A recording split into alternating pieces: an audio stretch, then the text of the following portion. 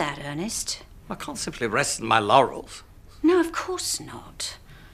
But decency and principle aren't the way to fight these people.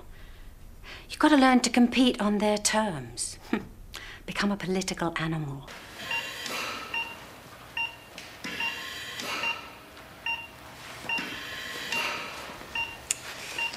No ectopic? No nothing. A diagnostic puzzle. Makes a welcome change from the usual bumps and lumps. Try phoning them again. Stop winding me up. It's bad enough as it is. I'm doing this for us, Caroline. All the lies and covering up. Also, that we can get away with this. So I can make a clean break with Alison. That's what this is about. Don't you see? I'll phone them as soon as I get a chance.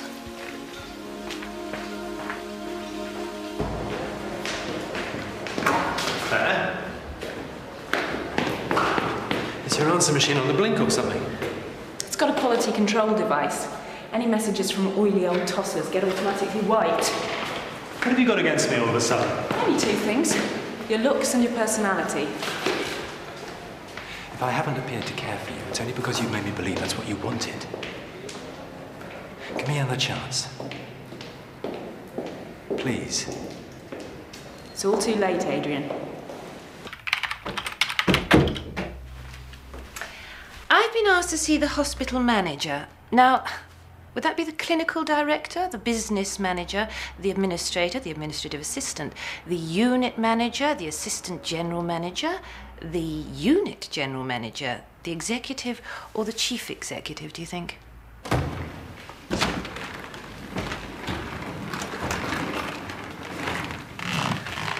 Michelle? How are you? Still hurts. I'll make sure you get some stronger painkillers. Thank you. I want to go on and do some more tests. Okay. We'll get it right next time.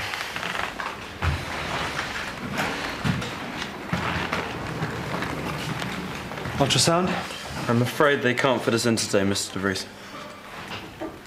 I believe I was quite specific. We should get that scan. I'm sorry, Mr. DeVries. My apologies, sir. It appears we're to have the pleasure of your company for one more day. At your inconvenience and great expense to the taxpayer until we're able to reach a diagnosis. Can we have this lot done too, please? Yes. I suppose I should be grateful. You haven't killed him. I mean, why, Julie? To undermine my position? To stand up and be counted. Maybe I can pull a few strings and keep this out of the press. You don't listen, do you, Paul? I'm not allowed to. She's got excruciating abdominal pain, central but radiating to back and arms. Did you do the x-rays? Yes. Same pain as before, Michelle. Sharp or dull? Like I'm being squeezed. And it goes into your back? And my arms. Do you feel sick? Sweaty?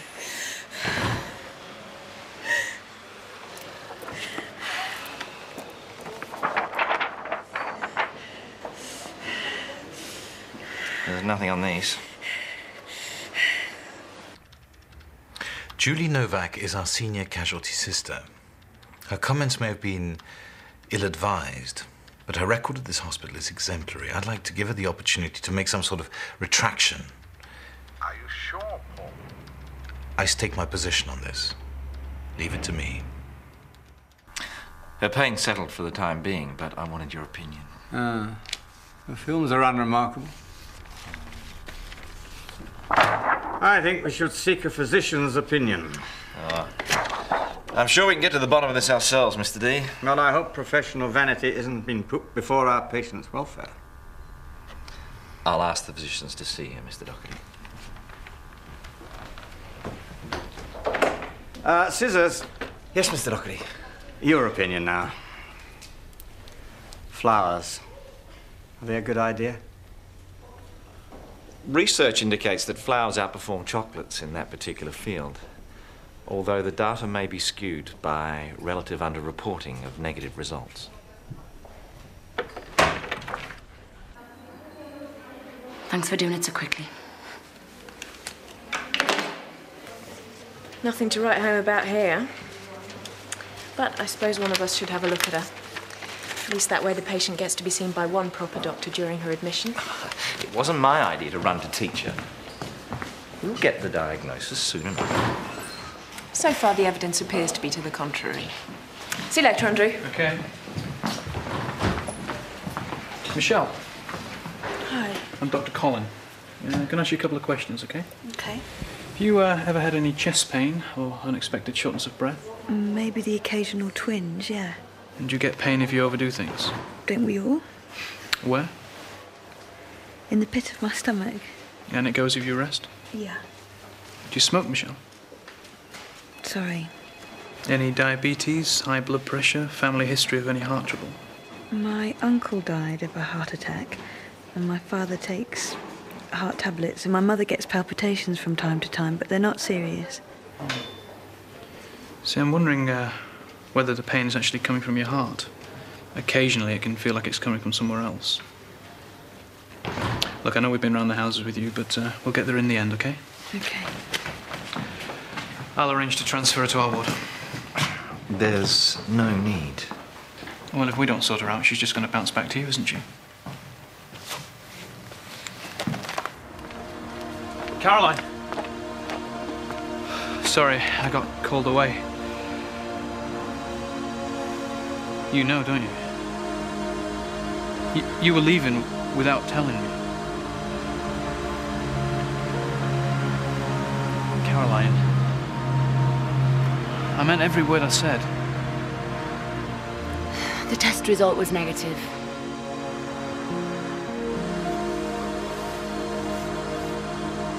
I'm so glad.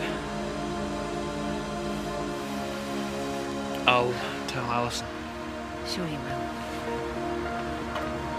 This intimidation of hospital staff must come to an end, you know, Graham. I think you'd agree this is now a matter for the committee to act upon. With respect, Ernest, I disagree. I would strongly discourage any challenge to managers' right to manage. Then once more I put it to you. You should stand down. I have no intention of so doing.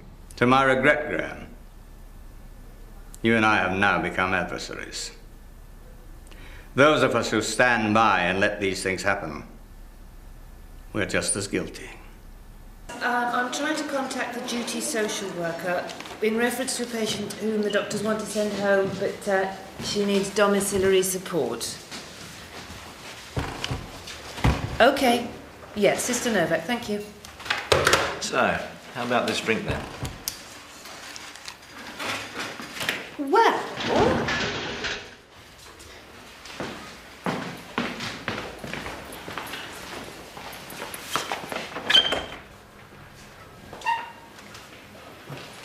Mr. Hammond, really? I'm sorry. I don't know what came over me. Looks the other way around to me. Mr.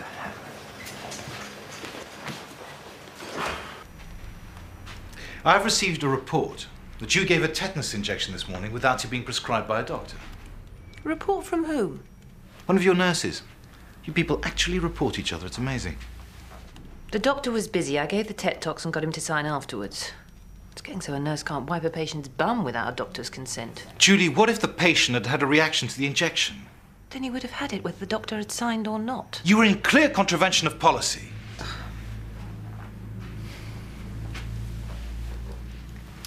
Your interview has gone to press. Maybe we can find a way of making your comments a little less mordant. A retraction. And then you'll overlook the tetanus crime of the century. Yes. Oh, don't bully me, Paul. I'm trying to save you. Why?